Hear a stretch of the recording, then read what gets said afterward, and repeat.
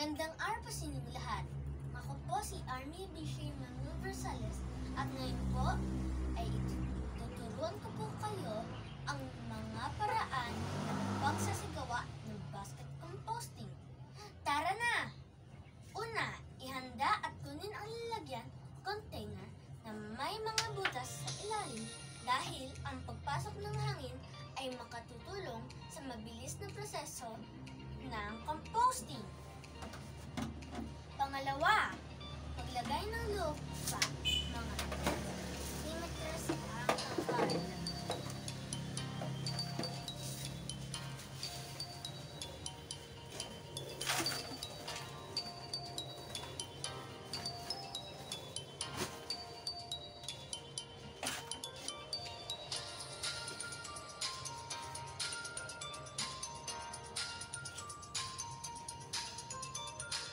Isunod po ang mga tuyong dahon.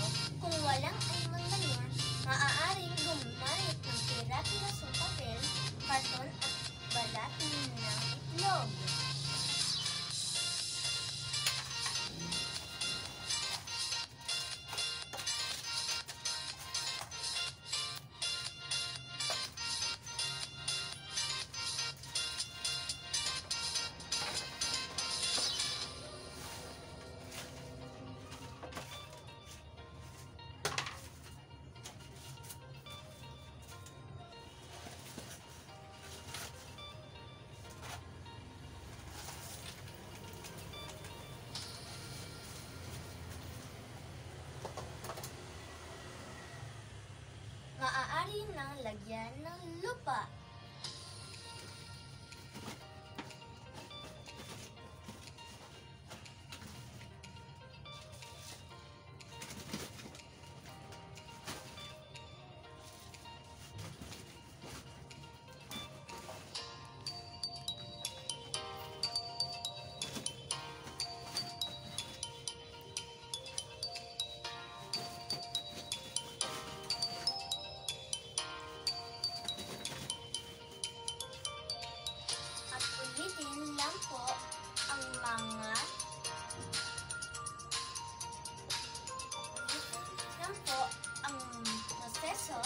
Hanggang sa mapuno ang container. Lagyan ng kaunting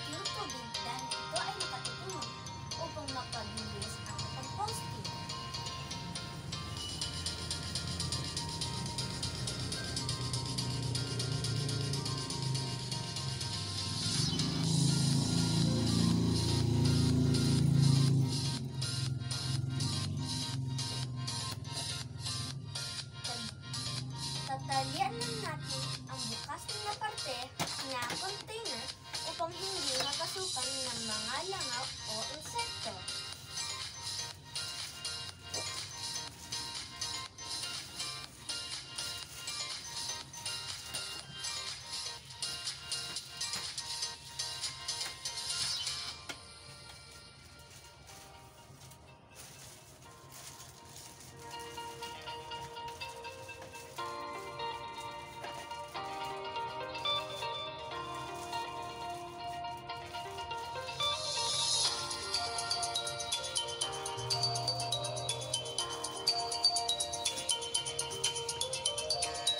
Ayan! Nakagawa na tayo ng basket composting na sa pagdating ng ilang linggo o ilang buwan, dalawa hanggang tatlong buwan,